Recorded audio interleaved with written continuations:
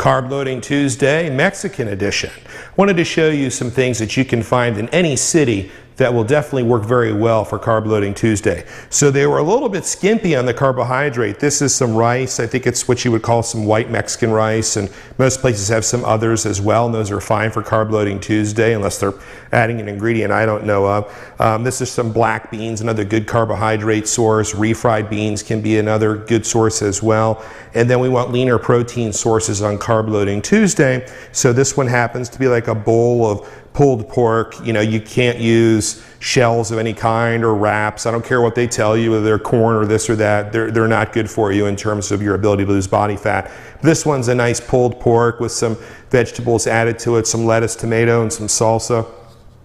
And then here is a uh, chicken with, again, some different vegetables and salsa in there. I, I, don't even remember what type of cabbage this is, but it's good. I've been to this place before. And then guacamole there. They do this very well. This one happens to be a pineapple guacamole, which gives you some more carbohydrate. And that's a great choice on Carb Loading Tuesday. And this is more of a, a plain guacamole and a couple of different, you know, salsa choices. So you can go out to a lot of good places on Carb Loading Tuesday and have very satisfying meals. But you have to be careful in terms of the total carbohydrate that you are consuming. And in the program, you'll notice that we use two meals on Carb Loading Tuesday uh, that have carbohydrate in it. And the reason is we want to spread out that carbohydrate intake instead of having a lot at one time. We don't want to overwhelm the system. We don't want to shoot insulin levels through the roof. Spreading it out this way gives you the benefits of the carbohydrate without having too much, again, to kind of overwhelm the system.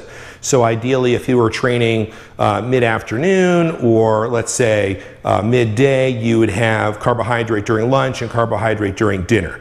We like to do it two meals following the training session because the weight training optimizes many metabolic and hormonal factors to receive the carbohydrate, which do an excellent job of reviving fat burning hormones, thyroid in particular. Thyroid for a lot of people is low for many different reasons or out of whack, and carbohydrate can help to optimize those levels. The carbohydrate does a great job of lowering stress hormones, particularly cortisol. And again, it provides strategic variety uh, to the system that's necessary. We can't eat the same things all the time, over and over again, because the body gets bored.